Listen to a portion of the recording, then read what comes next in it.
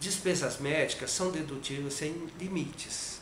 É, são aqueles pagamentos efetuados a médico, dentistas, é, psicólogo, é, conta hospitalar e planos de saúde. Remédios não entram. Remédios não, sendo, não são dedutíveis, exceto se incluídos na conta hospitalar.